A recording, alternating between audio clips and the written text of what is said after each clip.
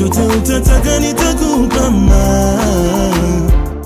guys, welcome back to our channel. It's your girl Fanny Lungu back with another reaction video. If you're new to this channel, make sure to give this video a thumbs up, share it with your friends, and of course, do not forget to subscribe. Like I said, my name is Fanny Lungu, and on this channel, we post reaction videos each and every day, and we've been able to do that thanks to everyone that that's been giving us things to react to. We appreciate the links that you drop us. So if there's anything that you want to see on this channel, drop us a link in the comment section below, and we'll be more than glad to do it. We react to many different things, not just religious things, but we react to music as well. Um, uh, if you want us to react to skits, we can react to skits. If you want us to react to just anything that you find interesting, be it adverts, anything. So yeah, um, we've got a second YouTube channel called Fanny and Jessy 2.0. 2.0 and you can find our weekly vlogs there and you can just subscribe and enjoy the content that we're putting out there we've got um a podcast called diving in with Fanny and Jessy and we have some amazing conversations i really enjoy um making these podcasts because we're talking about something that's happening something we want um something we have an opinion about. So if you have an opinion about something listen to our listen to our conversations. Maybe drop your opinion and we see how we can start a conversation from there. And we've got a patreon called Fanny and Jessy. You guys can feel free to become members. You can find our podcast on itunes spotify our youtube channel and pod bean as well. So just feel free. It Doesn't matter what you're doing, you're driving to work, you're coming back from work, you're cooking, you're about to sleep. You can listen to our conversations because we we really enjoy making those. So yeah, a big shout out to everyone that's been subscribing to our channel. Thank you for 14,000 subscribers plus. That's 14,000 plus subscribers. Thank you for thank you very much thank you for watching thank you for giving us things to react to and just thank you for sticking around you guys are the best and a big shout out to the person that suggested this. And before i get into this please guys check out my blog. You can find the link to my blog in the description in the community section on our channel. And you guys can just follow those links and check out whatever i've written. I really wanted to start something that i was going to be proud of something that's my own without being influenced by anyone. And that's what happened with that vlog uh, blog and so you guys can just head there check it out. Read you don't have to comment just read i'll be very very glad to know that someone out there is reading something that i'm writing. It's just it would just be very very amazing. So you check out my blog. Um you can actually you can actually follow me on social media as well Fanny L on instagram. You can find our facebook uh, Fanny and Jessy our instagram Fanny and Jessy and just feel free to start a conversation a conversation with us on those um, platforms and we'll um, write back to you. So as you can tell from the title, today I'll be reacting to the difference in salvation, Christian and Muslim perspective. So without wasting time, let's get into the video. having each side present five minutes to give their position first. And this week, our first speaker will be Dr. Anis Shorrosh, representing Christianity. So, Anis. I praise the Lord Jesus Christ for saving me as an Arab Palestinian to teach me to love my enemies and forgive them. Only Jesus can teach that. I would like to also announce to everybody who is listening that neither the Quran nor Muhammad can give you an assurance of your sins forgiven while you're on earth. Neither the Quran nor the Muhammad can give you an assurance of eternal life while you are here on, on this earth, that when you die, you'll have a place in heaven. The credentials of Jesus of Nazareth, the man from my hometown, are authentic and overwhelming. The prophets of old predicted his coming 300 times or more. Predictions he faithfully fulfilled from his birth to his death to his resurrection. Our Heavenly Father confirmed his relationship to him as his Son. His miraculous works affirmed his power. The Holy Spirit clarifies this truth to which the apostles and the New Testament testify powerfully. Let me emphasize that God is in reality Jesus. Man, gods have been numerous throughout history. But this is the first and only time that the God man, Jesus the Christ, came to earth. Let we ask a very serious question tonight. Why did Jesus Christ come if he were a mere prophet? The world did not need more prophets, priests, books, or miracle workers. The God of heaven gives us the answer. You will call his name Jesus because he will save his people from their sins. Matthew 1 21 by the angel. Jesus Christ came to save you and me from eternal death in hell to eternal life in heaven. He came to save us from darkness and bring us to light, and from hate to love. He himself promised, I have come that you may have life and have it more abundantly. John 10 10. Listen to his declaration. For the Son of Man has come to seek and to save that which was lost. Luke 9 10. The word lost is the same as sinner, since God's word states all have sinned and come short of the glory of God, all of us become the object of his concern. Jesus came seeking us particularly when we learn that the payment for sin is death, but the gift of God is eternal life through Jesus Christ our Lord. A secret is revealed when we hear John the Baptizer, known in the Quran as Sayyidina Yahya. He evaluated Jesus with these words Behold, the Lamb of God who will take away the sin of the world.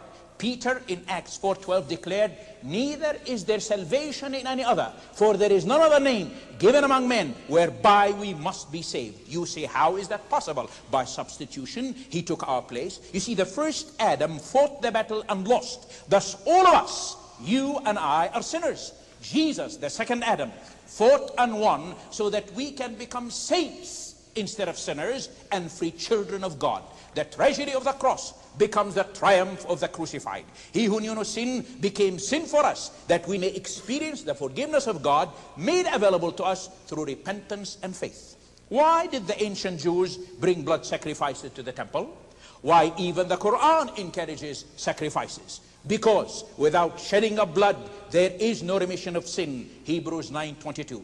Yet all the animal sacrifices were pointing to the ultimate sacrifice, Jesus, the Lamb of God, whose blood covers our sins and even removes them totally. For by grace are you saved through faith, and that not of yourselves, it is the gift of God, not of works, lest any man should boast. Ephesians 2, 8 and 9.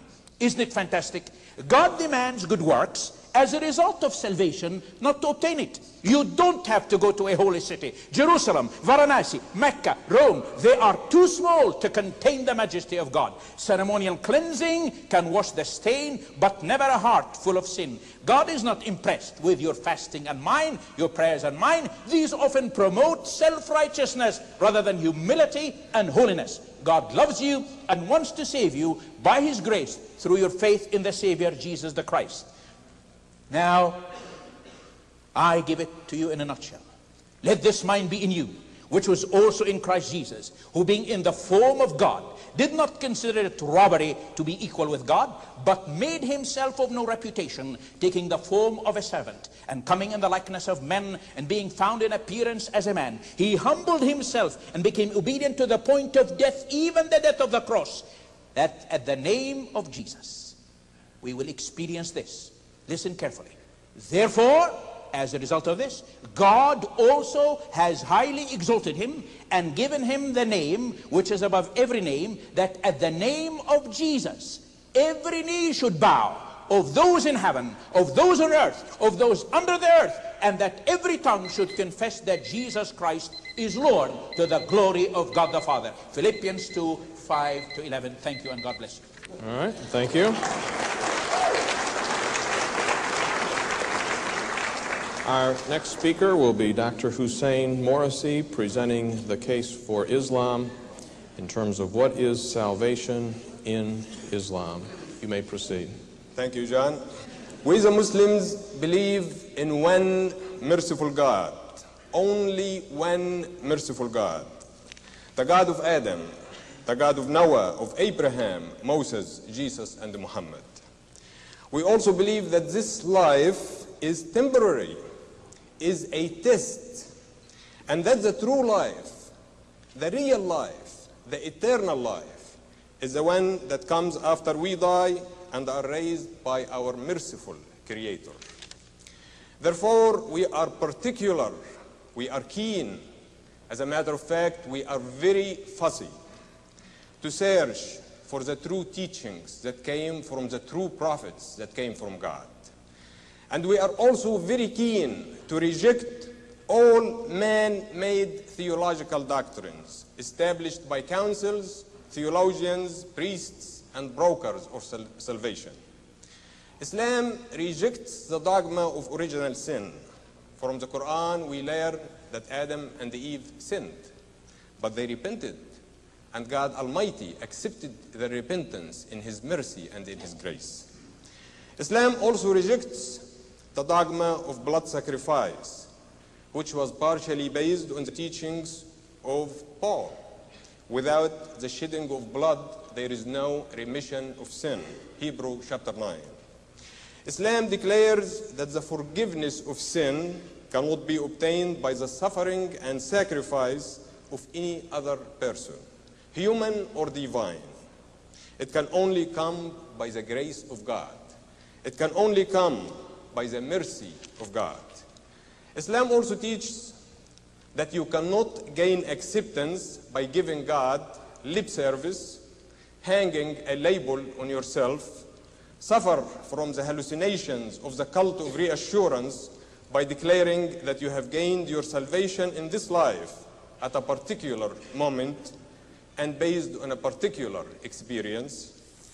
The Quran prescribes the same exact formula that was taught and practiced not only by Muhammad and Jesus, but by all the prophets. Work on your righteousness through faith, number one, faith in God.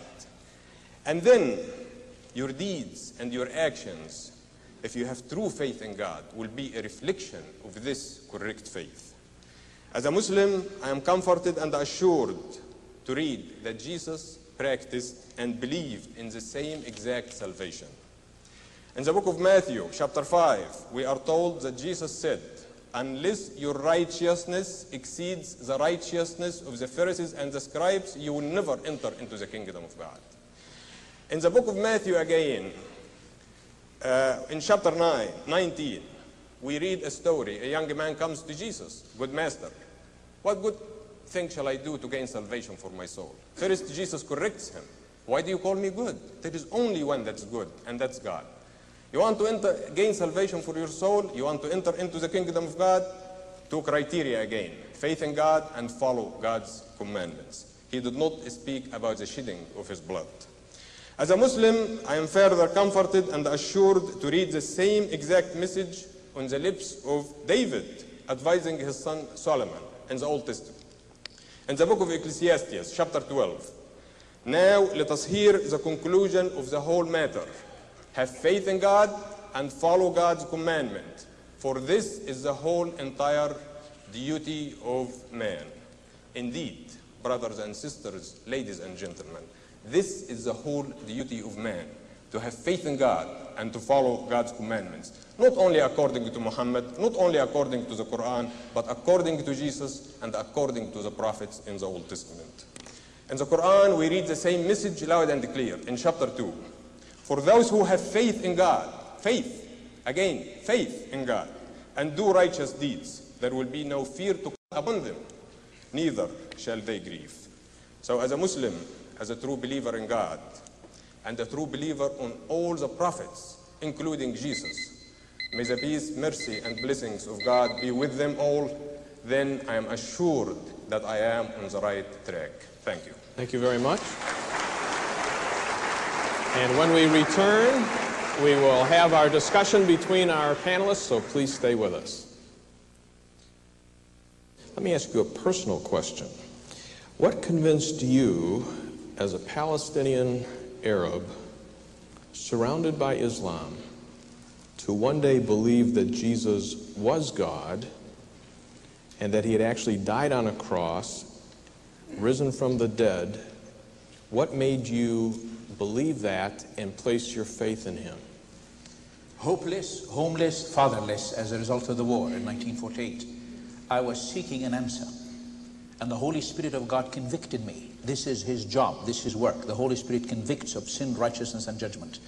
And in the privacy of the room where I was staying, the whole family was living in the same room, they were gone, I was by myself. I knelt down and I asked God if He's for real to show that to me. And if He really can help me, would He show me how? And he led me to open the Bible, my mother's Bible, and opened it. It fell on the word, Seek ye first the kingdom of God and his righteousness, then all these things shall be added unto, unto you. In contradistinction to what our friend was saying, righteousness is the righteousness of God. You see, our works are filthy rags. We cannot be saved by our works. If we can, there was no need for Jesus to come, no need for the cross, no need for sacrifice, no need for anything. You see, if we can do it. If a drowning man can save himself, there is no reason for him to cry out, Save me, save me. So I asked God to save me, and uh, through His Holy Spirit, He came into my life, and I was born again, born from above. My life was changed, and so changed that I could love and forgive. And I learned the lesson of praying for my enemies and learning to love them. It was Jesus and Jesus alone who said, It has been said of old, love your neighbor and hate your enemy. But I say unto you, as God, I say unto you, love your enemies. Bless them that curse you. Pray for them that despitefully use you. And God changed my life so I can love others and care for others. And as a result of that, I'm a changed person, not a perfect person.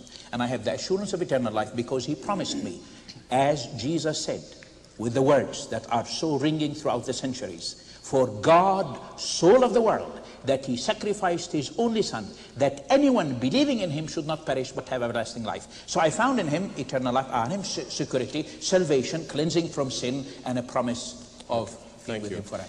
Uh, I'd like to ask uh, Jamal Badawi, how can Allah, who admits that man is sinful or has broken his law, if he is just and if he does have laws, which you say that he does, when a person breaks those laws, how can Allah let people off and still be just? You see, the, the main issue really, and it's a legitimate question, how God reconciled his mercy and justice, because both of these are attributes that are accepted by Muslims and their Christian brethren. There is no difference in that. There is no difference, by the way, unlike many people saying that in Islam, salvation is only by works or righteousness, not by grace. The Prophet did not say that. The Prophet said the opposite of that. Grace is above all. But righteousness, of course, is needed. Belief also and faith in God is needed as well. But the reconciliation in Muslim understanding is quite different. We believe, yes, that God is just and merciful, but according to a hadith Qudsi, God says that my mercy prevails over my wrath and my anger. Number one. In another hadith also, the, God says that if you as a son or daughter of Adam come to me with an earth full of sins, but you come to me sincere and associate none with me, I will forgive you and I shall not mind. And Muslims see that as good reconciliation between justice and mercy. Number one, it is justice because God who created us created us with weakness, with inclination to sin. And He knows that. How could He expect us to be perfect? On the other hand, because God is merciful, He should be willing to forgive us if we repent to Him and really change our lives and get that new strength and new power to follow the path of God. And that's why the Quran says, whoever believes in God and have faith in God, God will guide his heart. So to us, the reconciliation is very simple through repentance and sincere change in our attitude and behavior. Let me just throw one on the table then. Jesus said, This is what I told you while I was still with you. Everything must be fulfilled that is written about me in the law of Moses, the prophets, and the Psalms. Then he opened their minds so they could understand the scriptures. He told them, This is what is written the Christ will suffer and rise from the dead on the third day, and repentance and forgiveness of sins will be preached in his name to all nations beginning at Jerusalem. You are witnesses of these things. John, that's Luke and that's Jesus. So John, it is, it a Christian problem now that you have two contradictory statements. In one passage, it tells us that Jesus taught about salvation through faith and following God's commandments. The, the one that you are quoting, it tells us that Jesus taught through the shedding of his blood. Now, it is the function of the Christians to tell us which one is correct and Do you think that's a contradiction? Obviously, it is a contradiction. One, that say one final, doubt. one final question to you fellows, and that would be this, because then we're out of time, is that in listening to you tonight, a a thought came to me that went like this. You have said that God perfectly protected and gave the Quran. God, you said, was also the author of the Bible. Now, if God is the author, as you say, of the Bible, and he could protect the Quran, why didn't he correct and why didn't he protect the Bible itself that he gave? The answer is right in the Quran. The Quran, when it says that the people of the book were given the opportunity and the duty to preserve the Bible, استحفظوا.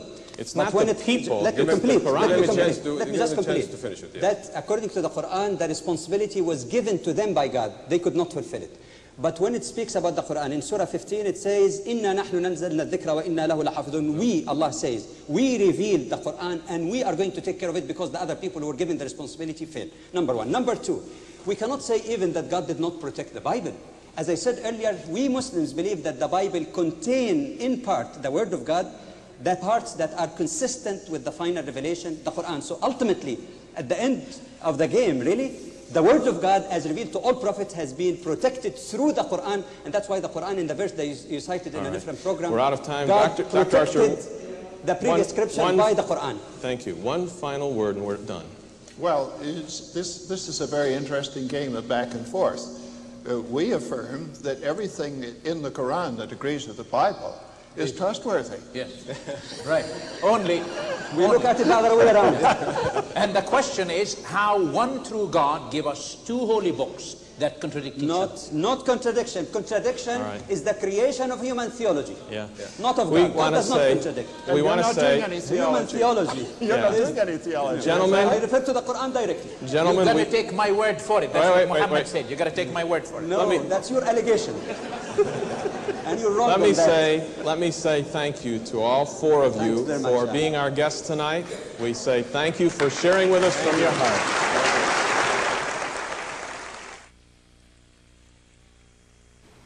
This was a very very amazing video. I enjoy uh, things that um, want to show the differences but also talks about the similarities. At the end of the day we've got not we've got but there's texts in both books which agree with what the other says what the quran says what the bible says.